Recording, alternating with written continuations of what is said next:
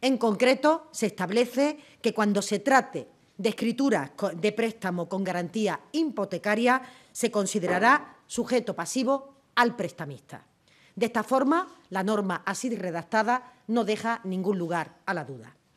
De la misma manera, el texto aprobado en el día de hoy modifica el artículo 15 de la Ley sobre el impuesto de sociedades para introducir que este gasto estará considerado como no deducible por parte del prestamista.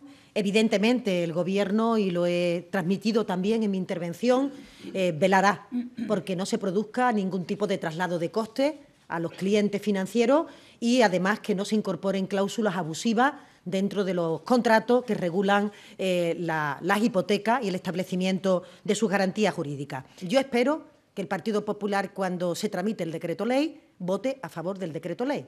Y si no, tendrá que explicar eh, si está eh, a favor de que sean los consumidores, los ciudadanos, los clientes, los que paguen este impuesto, o si está a favor de que sea el banco. Porque si no se apoya este decreto ley, eh, la expresión que se está reflejando es que uno prefiere que se pague por parte de los consumidores en vez de las entidades financieras. No obstante, creo que es el propio Partido Popular el que tiene que explicar esta contradicción en la que siempre cae. La eliminación de este impuesto supondría 2.000 millones de euros menos para la sanidad para la educación y para la dependencia.